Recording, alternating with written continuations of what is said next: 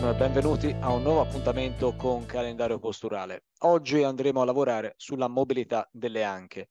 Lo faremo stando sdraiati sul fianco. Ci mettiamo dunque sul fianco destro.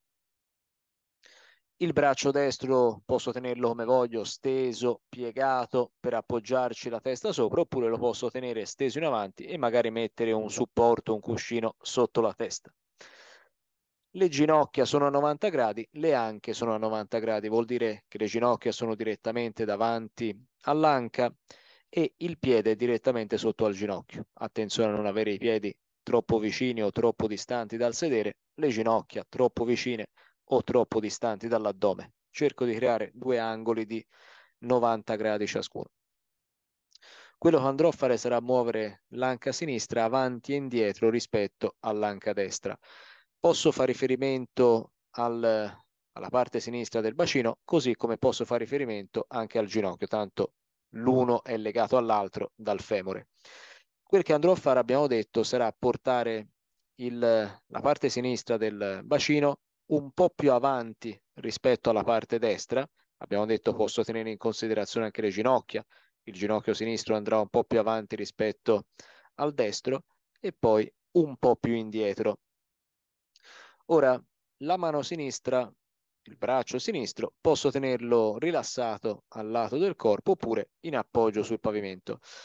Posso tenerlo in appoggio sul pavimento perché devo cercare di non rotolare con la cassa toracica, quindi devo cercare di non rotolare in avanti quando l'anca viene in avanti, rotolare indietro quando l'anca viene indietro, ma se voglio mi aiuto, ma posso anche farlo senza, il bacino scivola avanti e indietro, ma lo sterno rimane lì dov'è, non ruota avanti e indietro. Avere una mano d'appoggio mi può servire per stabilizzare un pochino la situazione. Incominciamo. Non staremo a contare i movimenti, ci staremo all'incirca un minuto, quindi vi darò eh, lo stop io. Possiamo incominciare.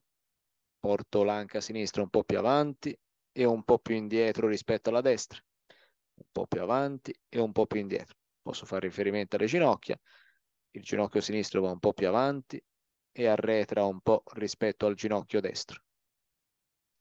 Cerco di avere la pancia morbida, se la indurisco andrò a rotolare con tutto il corpo avanti e indietro, pancia morbida e schiena leggermente inarcata, sia che spingo il ginocchio avanti, sia che lo spingo indietro, quindi sia che faccio avanzare che arretrare l'anca.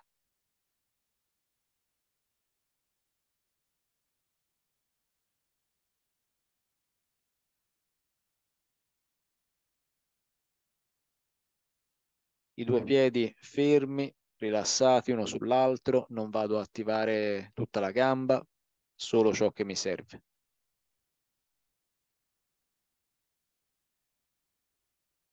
E ci possiamo rifermare e andremo a fare il movimento su un altro piano spaziale. Siamo andati avanti e indietro con l'anca, andremo verso l'alto, per alto intendo la direzione della testa, e verso il basso, la direzione opposta alla testa.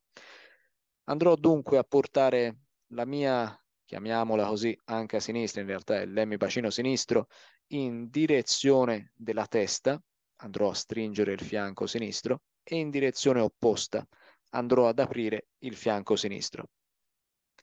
Se faccio riferimento alla parte destra del corpo, quando porto la parte sinistra del bacino verso l'orecchio sentirò che il fianco destro si allunga e si spalma sul pavimento, quando lo porterò in direzione opposta invece sentirò che si crea un'apertura, un arco, ci potrei addirittura passare una mano sotto.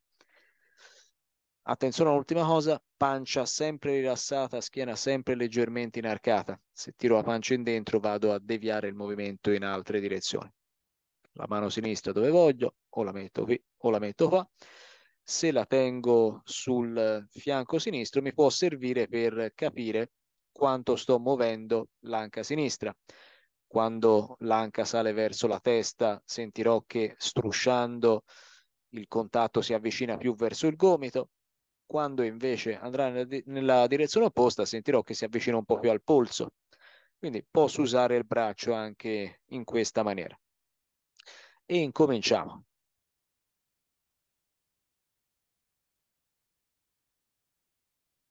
pancia morbida, cerco di lavorare con i lati del corpo, uno si stringe, l'altro si apre, uno si apre, l'altro si stringe.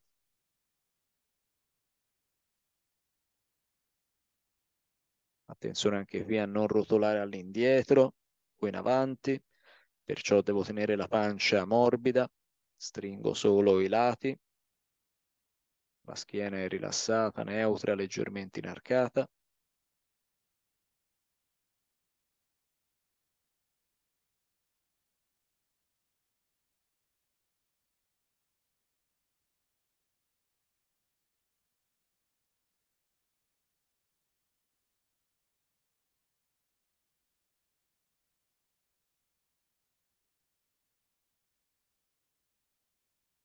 E possiamo terminare anche questo movimento.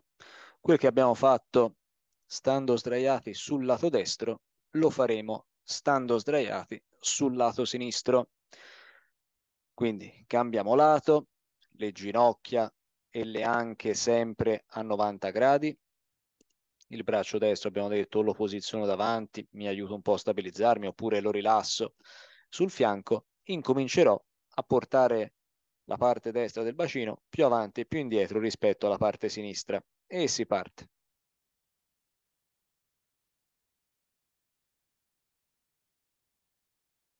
Sento il mio ginocchio che va un po' più avanti rispetto all'altro e un po' più indietro. Mi accerto di non rotolare con il busto avanti e indietro, ma di tenerlo fermo mentre porto avanti e indietro la parte destra del bacino pancia morbida, schiena leggermente inarcata.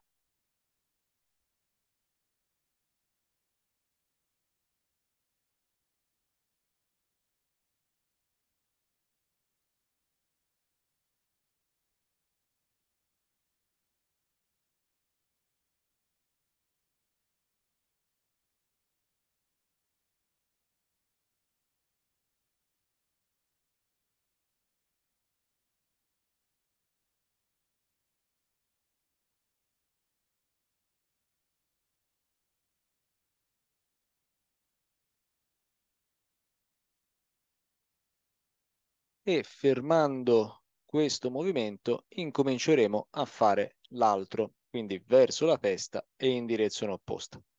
Piano piano stringo il lato destro dell'addome avvicinando l'anca in direzione dell'orecchio e riapro questa distanza.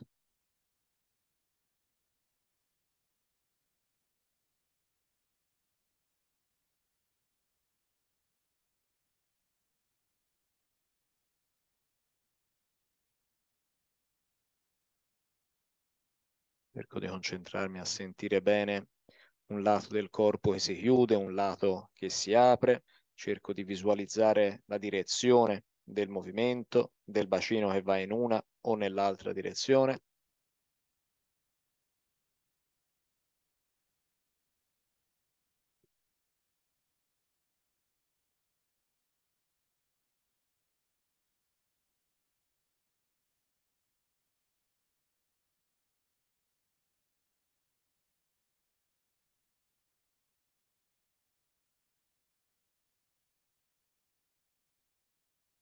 E poi possiamo fermare il movimento e lentamente uscire dalla posizione.